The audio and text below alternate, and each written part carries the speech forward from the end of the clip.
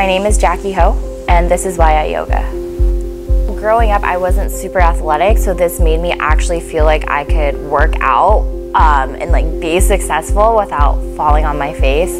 It's been like an amazing transformation because I feel like there's this moment where everything kind of just clicks in and you're like, that's how I do the chaturanga. Like I never knew I had that strength to do it. When I get on my mat, I just kind of completely zone out. It's like my own time to just, whatever I need it to be, that's what it'll be. This is like your space to make mistakes and to explore and to learn and like part of that is laughing at yourself because if you're like holding yourself to such a high standard and stuff, like you're just, it's not gonna make the practice fun, which is like, it just it should be fun.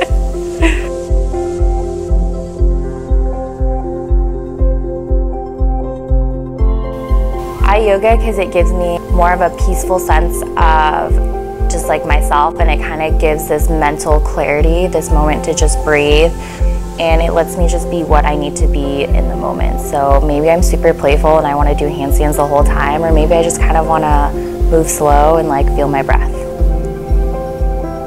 No matter what situation you're in, like if you just breathe, you will get through it.